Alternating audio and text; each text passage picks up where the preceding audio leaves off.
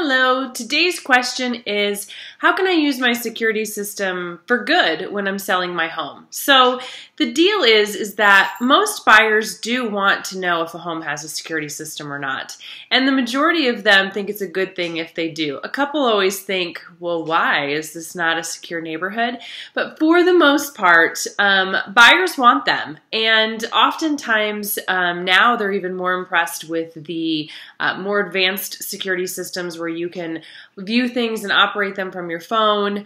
Um, all those different um, gadgets have really come a long way. So use your security system. Um, make sure your agent knows that you have one um, so that we are passing on that information to the potential buyers because it is something that people are interested in. So if you or someone you know is looking to make a move anytime soon, I'd love the opportunity to help.